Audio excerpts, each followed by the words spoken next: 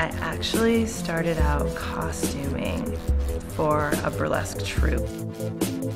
It's so much fun to get out there and just like be a character and connect with the audience and interact with people and you could be sexy and weird and aggressive and funny and all these different things at once. You didn't just have to be like pretty, which was kind of cool.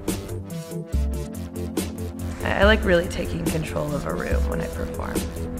I'm always the first one to climb upside down and hang from the ceiling, usually. oh. I like playing with fire. You can play with it and spin it around, but the fire is always in charge.